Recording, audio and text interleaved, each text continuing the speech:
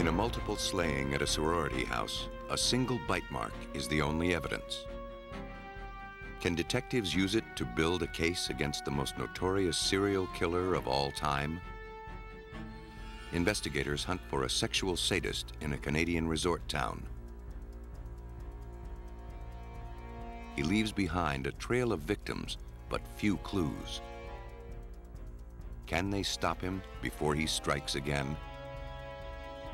Someone's murdering men on Florida's highways. A bloody palm print suggests a woman's touch. But who is she? What prompts some intelligent people to become cunning killing machines?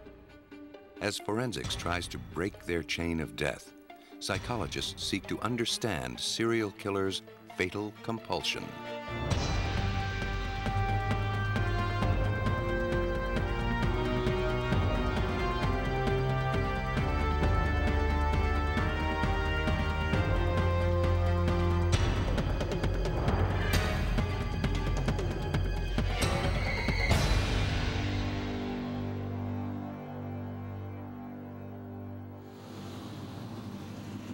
February night in Pensacola, Florida in 1978, police officer David Lee saw an orange Volkswagen leaving the parking lot of a closed restaurant.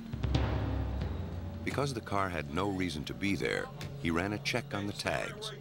He discovered it was stolen. The driver tried to flee the scene. After a chase and a struggle, he was apprehended. Police found stolen credit cards and several fake IDs in the car. The driver was taken in for questioning. The man flashed a student ID, but police determined that it too was stolen. After two days in custody, he finally decided to tell police his real name, Theodore Robert Bundy. At first, the Pensacola police had no reaction. They had no idea who Ted Bundy was.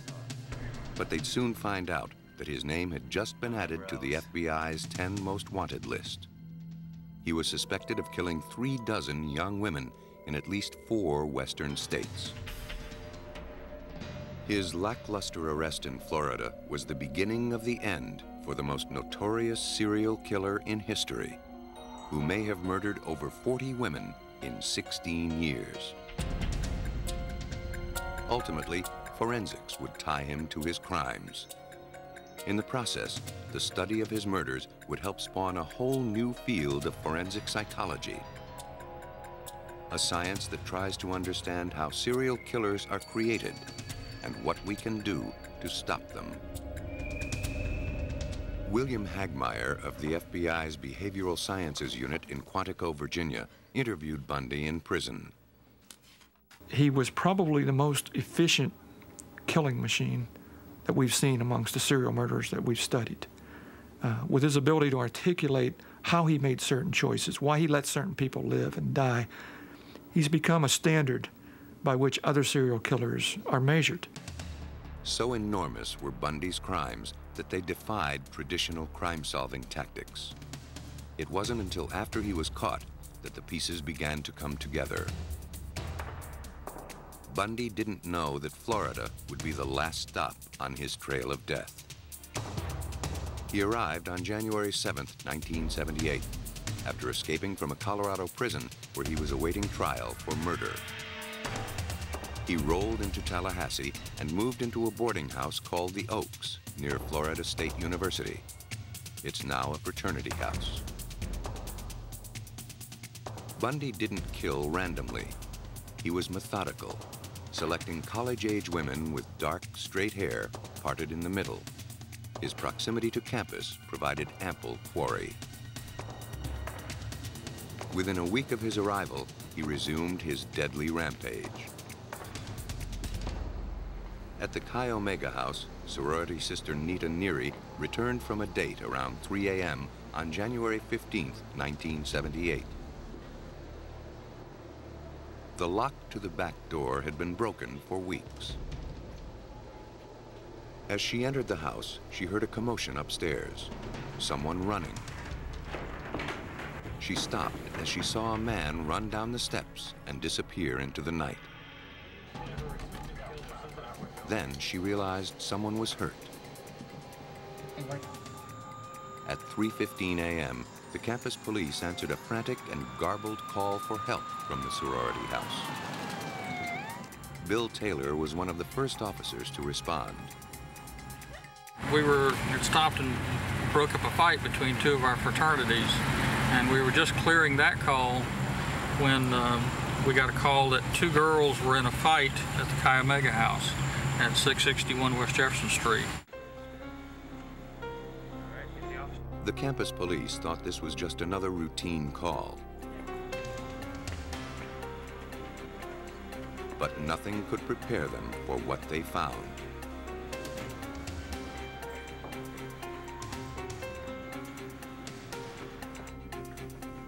The house mother told the officers two women had been attacked. After calling paramedics, police investigated the rest of the house. An officer found Margaret Bowman in her bed. She'd been bludgeoned, then choked to death with a stocking. Down the hall lay another woman. Like Margaret Bowman, Lisa Levy had been sexually assaulted, then beaten. In his fury, the killer had left bite marks in her flesh. She died en route to the hospital. While paramedics tended to the injured, police tried to make sense of the scene. Officer Taylor had never witnessed anything so brutal. You're thinking all kind of different things when you're going through there and just how in the world could somebody do what was done to those victims in that manner uh, while they slept in their beds. The women never saw their attacker. But Nita Neary, who escaped a similar fate by mere seconds, described him. He was of medium height, wearing a navy peacoat and a knit cap. He carried a club.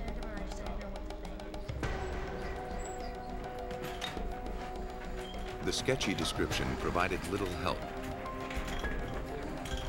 The killer left behind no evidence, not even a fingerprint.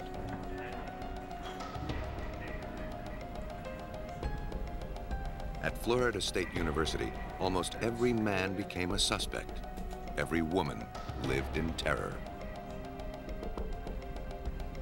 We knew we were looking for a white male. We knew we were looking for someone who was around 5'8", 5'10". We knew that he had a dark colored kind of peacoat kind of jacket on with a uh, one of those navy blue uh, watch caps on. You were looking at everybody that was walking or everybody that you could see. Did he match that? Uh, where could he be now? You know, is he hurting somebody else now? You get that horrible feeling that there's that there's more, that something else is going to happen. Are there other crime scenes? Are there other people that are injured, other people hurt that we don't know about yet?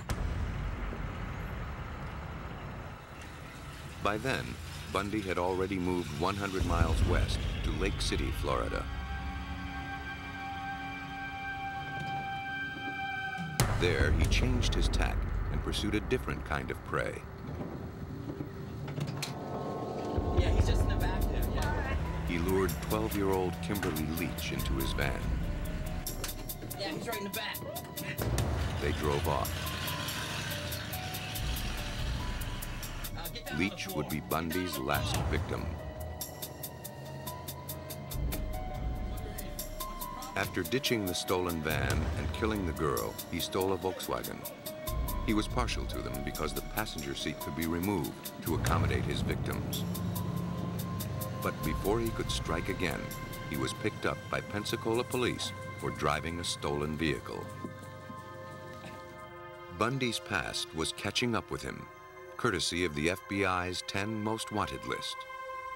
Florida police were almost certain he was responsible for the Chi Omega murders, but they had to gather evidence to prove it. uh, or seven if, if this is a bicuspid uh, to the The right. only clues But, collected at the Chi Omega murders then you have were the bite marks on the body of Lisa Levy. well, because the lateral to the Investigators right hoped they would be enough. it's- it's high in the arch. The task of analyzing them fell on forensic uh, odontologist Richard Souviron. Uh, when Bundy was arrested, and the bite mark evidence uh, was not considered a high priority. Um, but when the detectives in the case were unable to come up with anything else, such as blood, fingerprints, uh, hair, fiber, anything like that, uh, then they decided, well, we'll give this a try. At the time, bite mark evidence had not been used in Florida courts, but investigators had no alternative. Fortunately, one of the bites left a deep impression. Dr. Souviron saw that the killer's teeth had distinctive characteristics. They were crooked, chipped in several places, and had an unusual configuration. But he needed an impression of Bundy's teeth to make a match. That required a search warrant based on probable cause that Bundy's teeth were similar to the killer's. A snapshot of Bundy showing his teeth convinced a judge to sign the warrant. Souviron could now take the impression of Bundy's teeth. From the impression, Souviron made casts. It was apparent that Bundy's teeth were very unusual. Bundy's teeth uh, are unique. That uh, I've never seen a set of teeth like Bundy's, and indeed, uh, no one in the world has a set of teeth like Bundy's. Turned and bit a second time, and here's the lateral incisor. Most striking were Bundy's lower teeth, which showed an unusual pattern of wear, along with a distinct layout. The top teeth were chipped. Both sides, and the teeth fit. Using acetate overlays of Bundy's bite pattern, Souviron was able to conclude that only Ted Bundy's teeth could have left the bite marks found on the body of Lisa Levy. Drop in. Especially with that eccentric bite of his, that's that's pretty compelling. Yeah. Based in large part on this forensic evidence, a Florida grand jury indicted Bundy on July 27, 1978, for the two Chi Omega murders. His indictment was read on live television. Let's go.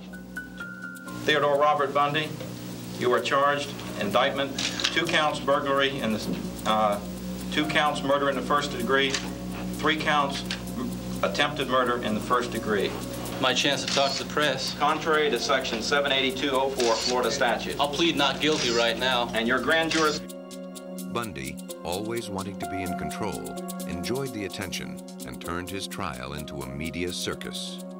Well, listen, I've been kept in isolation for six months. I've been kept away from the press. I've been buried by you. You've been talking for six months. I think it's my turn now. All right?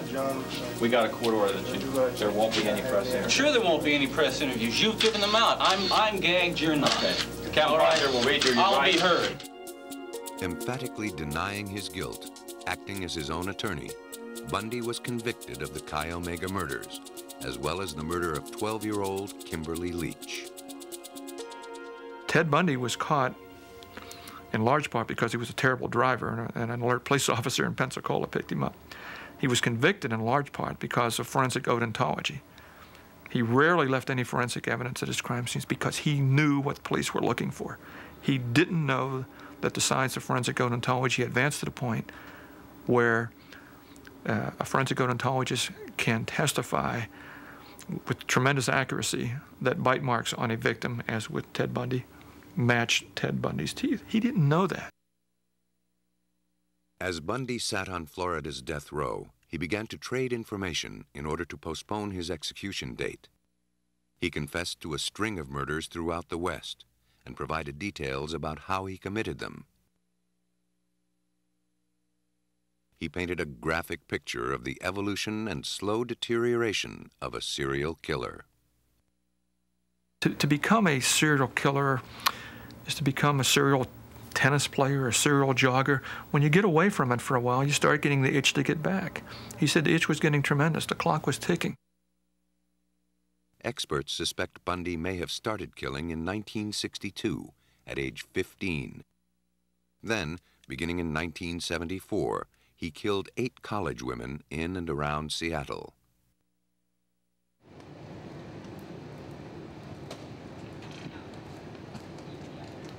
On crutches, or with his arm in a sling, he used his seductive charm to lure his victims. In this way, he snared six women in six months. Ted Bundy felt that this victim had a choice. She didn't have to come with me. And as he said on many occasions, I wasn't a caveman killer. I didn't go and drag them out. You know, they came to me. Emboldened by his success, he sought more risky prey during a crowded weekend at Lake Sammamish State Park near Seattle. Two of the women at the lake that day, 23-year-old Janice Ott and 18-year-old Denise Naslund, apparently left with the injured stranger four hours apart. It was the last time anyone saw them alive. Based on eyewitness descriptions, police artists made a composite sketch of the slender young man with a Canadian accent who called himself Ted. Part of Bundy's success was his cunning. Part was his looks and outward behavior. No one could have suspected his homicidal inclinations. Seattle writer Ann Rule has made a career studying killers and their victims.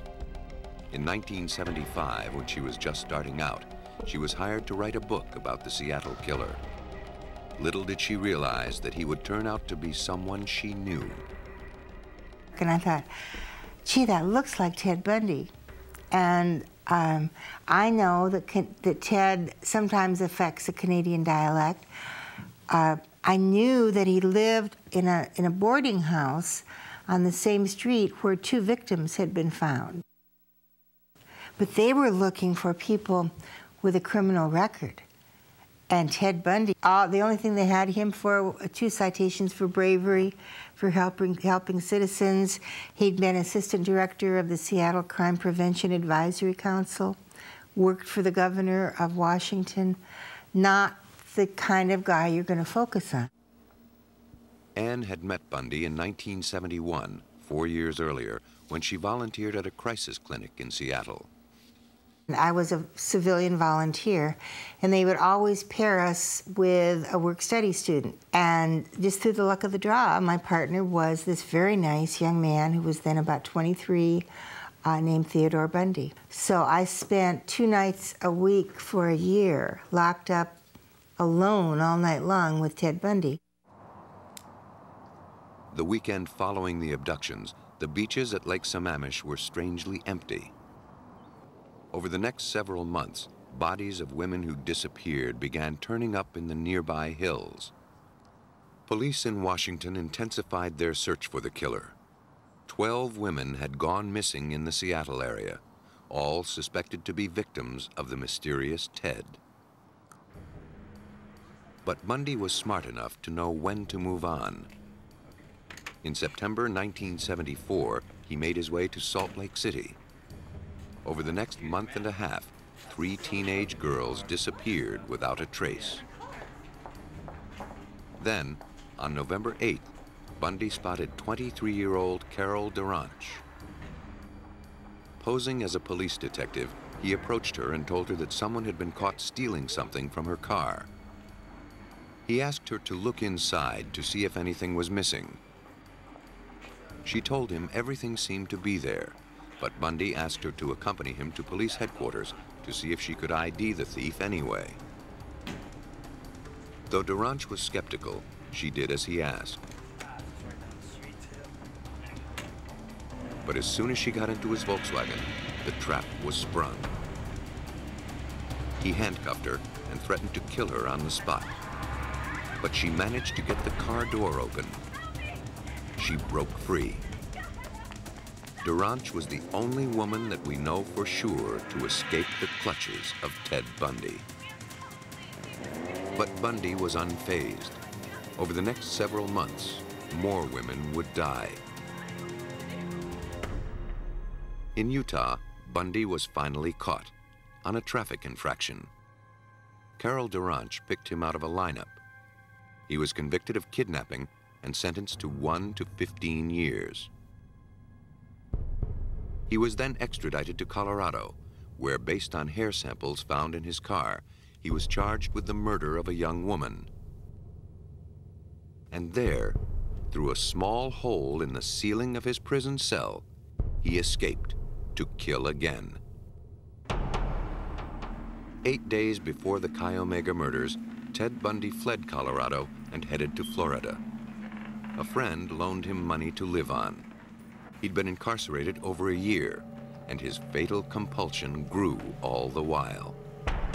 This need to fill the addiction had grown so strong because he'd been in prison and unable to kill, but sitting there fueling his fantasies, thinking about it. And um, when he was out, he had no control over it. Bundy was now taking chances, making mistakes. Gone was the kindly stranger ploy. At the Chi Omega house, he attacked with violence and rage and left behind the clue that led to his conviction. Bill Hagmaier believes that Bundy's recklessness was inevitable. Serial killers become more daring and less predictable over time. Many serial killers, in fact, all that I've dealt with, uh, their, their, crimes start out as personal agendas, so to speak. Uh, the first victim may be an accident, it may be a displaced aggression, but after that, it becomes predatory. Once he was in prison, Bundy provided the ultimate case study in serial killings. Hagmaier set to work trying to understand where a killer's fatal compulsion stems from. Bundy himself helped interview other serial killers on death row to find a common denominator. The answer isn't clear-cut. In background and behavior, serial killers are just like the rest of us. Serial killers come from different backgrounds. Um, there is no consistent factor that I'm aware of in all their development. Uh, basically, if one were to look at Ted Bundy's um, evolution as a human being, um, they would be shocked that he became a serial killer because he didn't act any differently, uh, didn't appear to be maturing any differently than other children around him. Writer Ann Rule believes that killers like Bundy are born and bred. I think to create a serial killer or any sadistic sociopath, you have to have a combination of a genetic predisposition toward violence. Just like some people can play the violin, uh, some people can tap dance, but these people have a tendency toward violence. Now, if that child is born into a loving home where he feels safe or she feels safe, we'll never know. But if you have the terrible synchronicity of the pre genetic predisposition and an abusive home, then you have the perfect soil to grow one of these people. Bundy showed his homicidal tendencies as a young child of three. His Aunt Julia, who was then a teenager, awoke to find Ted slipping butcher knives into her bed. But as with most serial killers, it came down to a matter of choices. We're all a product of our environment, our genetics, uh, our experiences, and what we become in life, whether it's a career choice, uh, making a choice of a mate, uh, or our avocation, and his just happened to be murder, uh, we're accountable for that. Bundy discovered in his early 20s that he was illegitimate. He aspired to a higher station than his stepfather could afford, becoming active in local politics. But rejection by a college girl of breeding and refinement may have filled him with smoldering rage. When he began killing less than a year later, all of his victims would bear a resemblance to the girl who'd rejected him. As Agent Hagmaier spent more time with him, Bundy began to call him his best friend. Bundy shared what it's like to be a serial killer. He said, when you're alone with a victim, who's very much alive and vibrant and pleading for their life. He said, he said, you become God. He said, you have the power over life and death.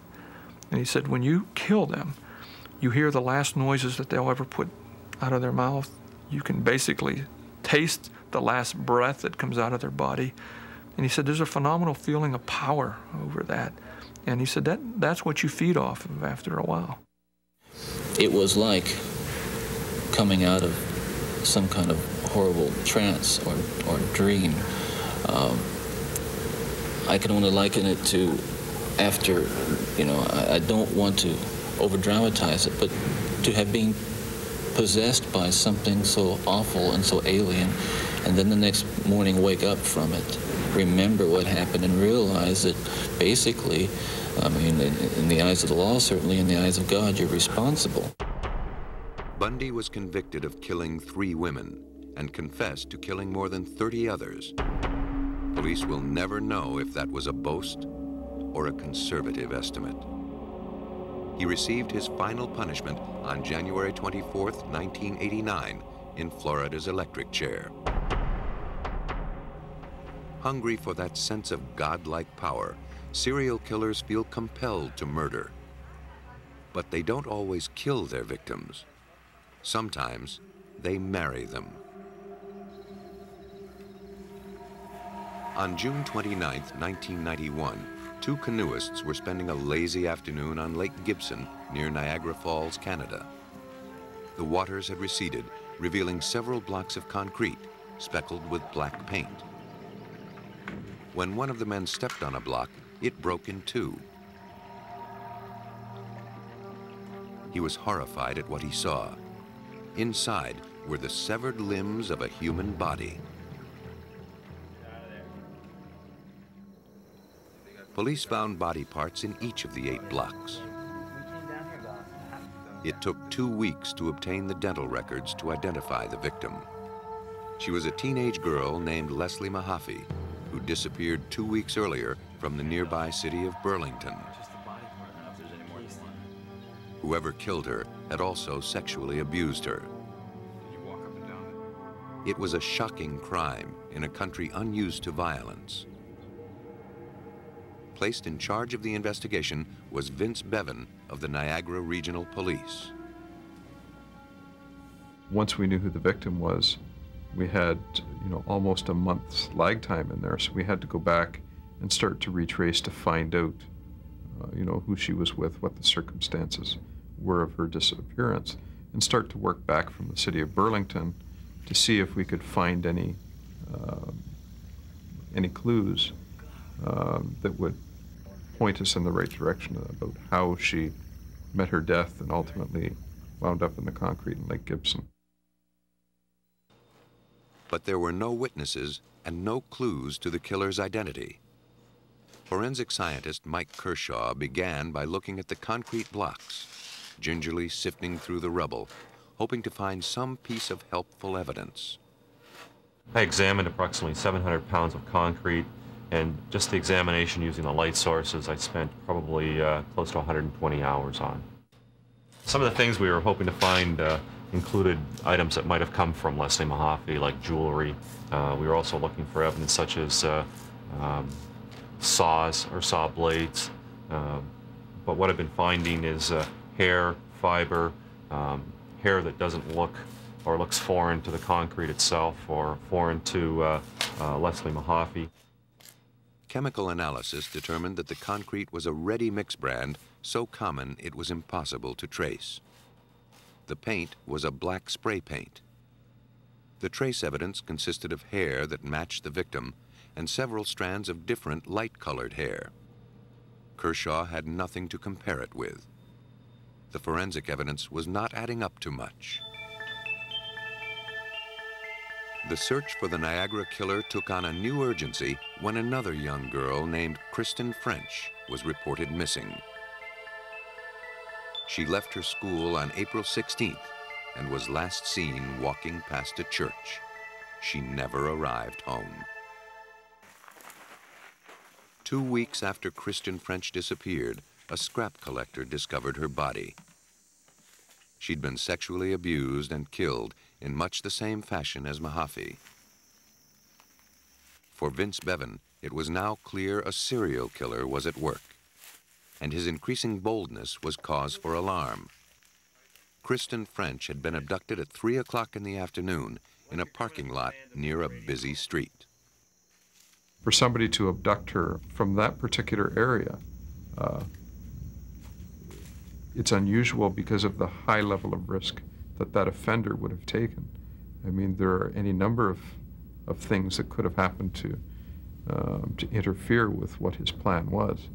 And uh, uh, it's, it's not a desperate act by any means, but it is certainly uh, an above normal level of risk for an offender of this type. The first break in the case came from 75 miles away in the town of Scarborough. For two years, police there worked unsuccessfully to catch a serial rapist. Acting on a tip, in 1990 they'd visited Paul Bernardo, an accountant who resembled the man described by some of the victims. He seemed an unlikely suspect. When you think of somebody who could be responsible for crimes like this, you expect them to be marked in some way, you know, like a hunchback dragging one leg behind him. As a matter of procedure, police collected blood and saliva samples from Bernardo for DNA testing. He was one of 1,500 potential suspects, and in these early days of DNA testing, the process was time-consuming. It took an overworked Canadian forensics lab two years to complete their analysis of Bernardo's DNA. Meantime, Bernardo moved from Scarborough to Niagara in 1991. The serial rapes in Scarborough had suddenly stopped. The killings in Niagara had begun. When the DNA results came back in February 1993, they proved Bernardo was the Scarborough rapist. Scarborough authorities notified Niagara police. We could have had an opportunity to connect those offenses um, earlier in the investigation. But as it was, that connection wasn't made until the DNA probe came back with Bernardo. Bernardo was arrested for the rapes in Scarborough and the murders in Niagara. He denied the murder charges, and police had no sure way to connect him to the killings. If Bevan wanted a conviction, he needed tangible proof. He obtained a warrant to search Bernardo's house. A search team spent 10 weeks looking for hair, blood, fingerprints, any physical evidence showing the presence of the murder victims. They got in their hands and knees with a stereo microscope and searched tuft by tuft until they found started to find hair. And they actually found small um, clippings of hair that were unique to Kristen French. Along with the hair, police found traces of DNA from French and Mahaffy. Autopsies revealed that both victims had been drugged.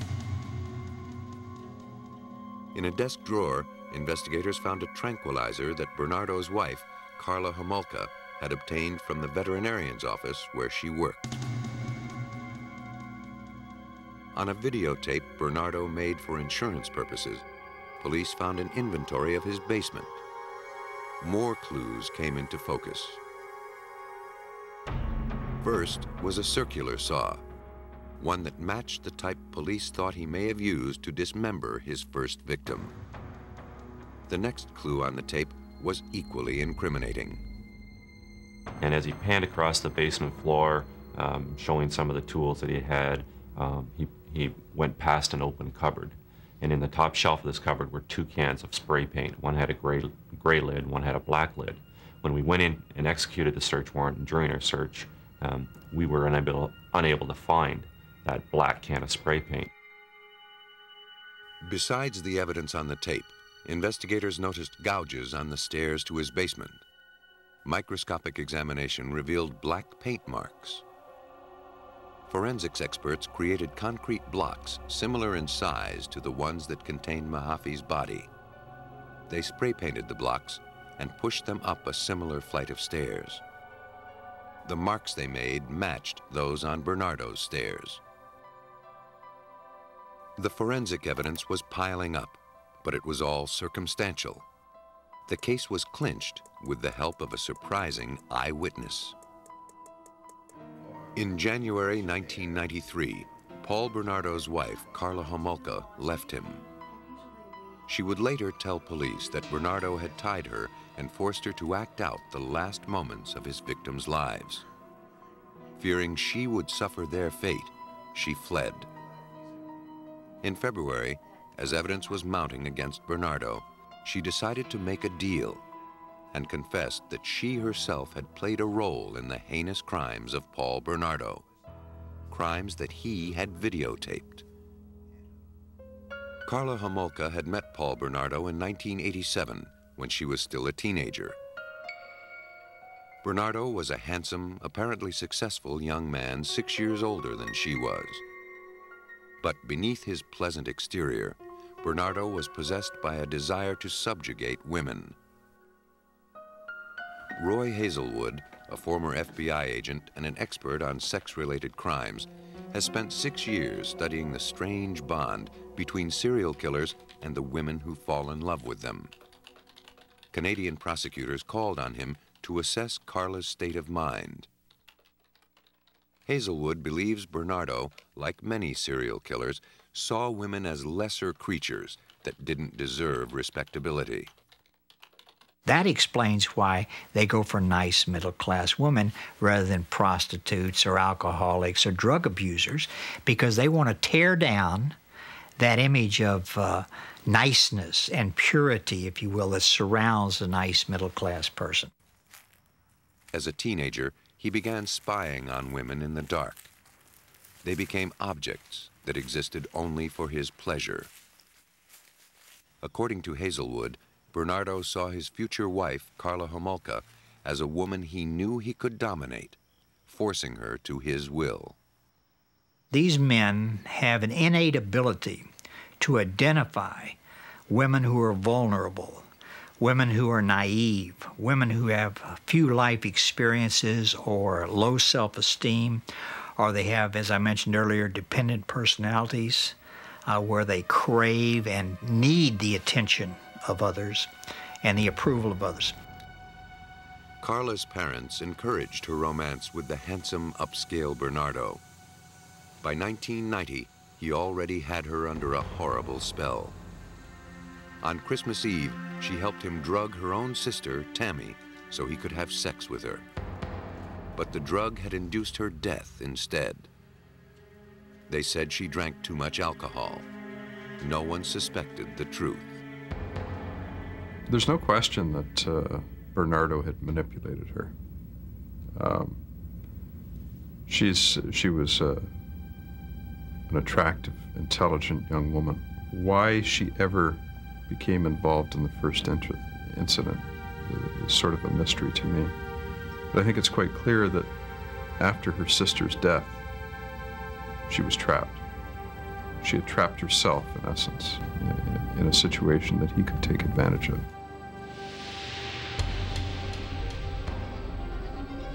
On the night of June 14, 1991, six months after Tammy's death, Bernardo went out to stalk young women.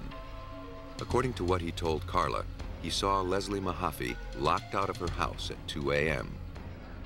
He offered his assistance, then lured the girl to his car with the offer of a cigarette. Karla told police Paul had forced her to videotape his sexual assaults on Mahaffy. Paul and Karla were married two weeks later. The day police discovered the body sealed in concrete. Over time, Bernardo had tightened his grasp on Karla, drawing her deeper into his crimes. Because she's in love with him, and because she wants his approval, uh, because she wants to please him, she agrees to participate, and eventually it becomes more and more bizarre. Karla helped her husband kidnap Kristen French in April 1992. She'd pretended to need directions, asking the girl to show them where they were on a map. Bernardo sneaked up behind her and shoved her into the car. Once again, according to Homolka, she had participated in and recorded Bernardo's sexual assaults on video. But where were the tapes? Despite 10 weeks of searching every corner and crevice of Bernardo's house, Canadian police were unable to find them. They'd discover later that Bernardo, in jail, had his lawyer remove them. When the tapes were finally turned over to the police, they validated every shocking detail of what Karla had said. Bernardo used the tapes to experience his crimes again and again. The videotapes, along with Karla Homolka's testimony, were more than enough to convict Paul Bernardo. He was sentenced to life in prison, no chance of parole. For her part in the crimes, Karla Homolka was sentenced to 12 years in prison, a sentence based on her testimony prior to finding the videotapes. But the tapes clearly showed Karla participating in the torture and sexual abuse of the victims. Was Karla truly a victim herself, or a savvy accomplice who worked out a sweet deal with the police? Is she a victim? Not in the sense that she's not responsible for what she did. She certainly is responsible for what she did. Uh, and she needs to be punished for her activities uh, in which she acted in concert in the abduction and or murder of three different people. So in that sense, no, she's not a victim. Is she a victim in the sense that uh, she came under his spell? Is she a victim in the sense that that he abused her? In that sense, yes, she's a victim in that sense. From the first of Paul Bernardo's rapes to the day of his capture, almost six years had gone by. According to Ann Rule, if he hadn't been caught, he would have continued to kill. They start maybe two or three years apart, and then it's one a year, and then it's one a month, and then it's one a week until toward the end they need more and more of the substance that they crave to make them feel normal. And in, in the case of serial killers, it's murder. First, they do it to get a high, and then after that, they seem to need it. And, and they're almost all caught because they, st- they begin to take chances in the end. Slowly, painfully, experts are learning the warped rules of the sexual serial killer. But do the same rules apply when the killer is a woman? In December 1989, along a Florida highway outside of Daytona Beach, officers found an abandoned car registered to a Tampa man named Richard Mallory. He had been missing for several days. Another week and a half went by before the 51-year-old Mallory turned up. Naked, shot several times with a 22 caliber pistol, and abandoned two miles from where his vehicle was found. Police sealed off the area to search for clues.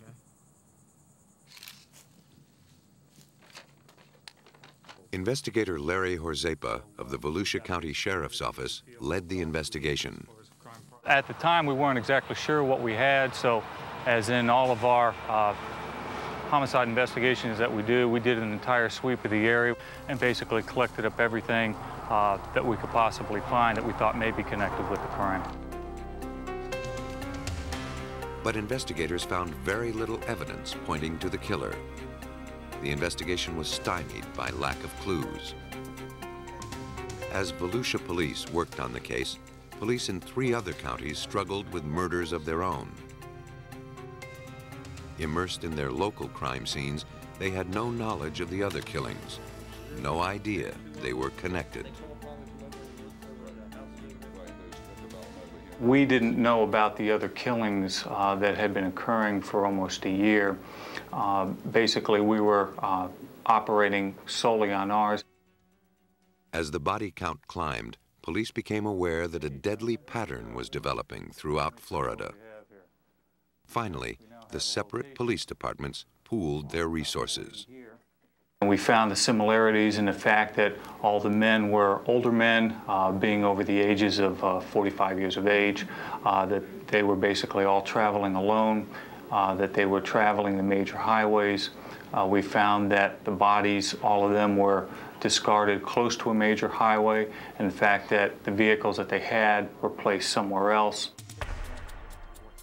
The killer had been methodical, consistent, all but one of the victims had been shot in the torso with a 22 caliber pistol, a relatively small firearm. In every case, the driver's seat was pulled up close to the steering wheel. The evidence suggested the killer was a short person, possibly a woman.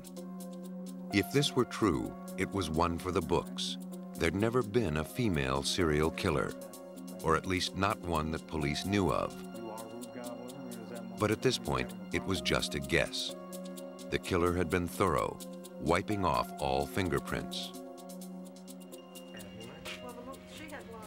Then, on July 4, 1990, a woman reported to police that she saw a car crash through a fence, then drive off. In the car were two women, a blonde and a shorter brunette. A few miles away, a car matching the description was found abandoned. Witnesses at this scene also described the two women. The car's registration revealed that it belonged to Peter Sims, age 65, an itinerant missionary who'd been missing for almost a month. Police saw a possible connection to the string of homicides. The car was turned over to Merv Stevens of the Florida Department of Law Enforcement. The vehicle had been basically wiped down on the inside and outside. The uh, crime scene analysts had went to the armrest on the driver's side of the car and had removed the armrest. Upon removing that armrest, they noticed what it looked to be, appear to be a palm print, a bloody palm print. The single print was their only clue, and a potentially damning one. But prints in blood are notoriously fragile. Forensics would have only one chance to read the imprint. Only one chance to link killer with crime scene. They could not afford to make a mistake. I think they made the latent lift as a last resort. Um, once they had discovered what they thought was a blood print or looked to be like a blood print, it was reddish brown in color. And in photographing it and using the different lighting techniques, a blood print will tend to dry out. Once a blood print dries out, it becomes real fragile. And simple moving it around, handling that, that type of item, the print will basically deteriorate and it will fall to pieces. After the print was photographed, clear tape was carefully placed over it.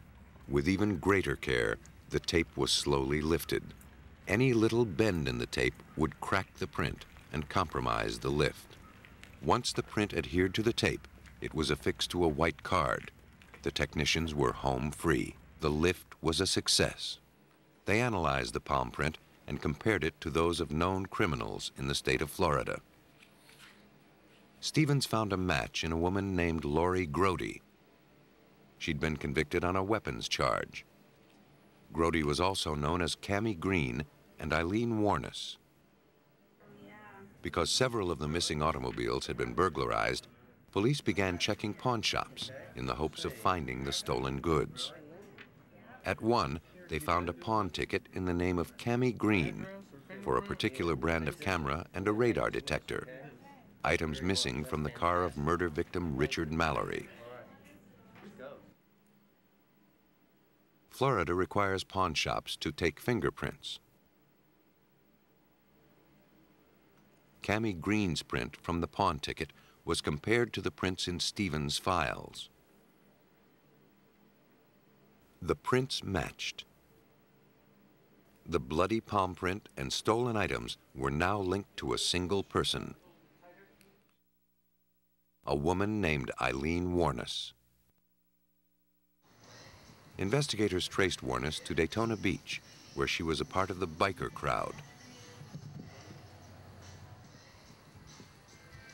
She hung out at a bar called the Last Resort, where she slept on these benches behind the bar.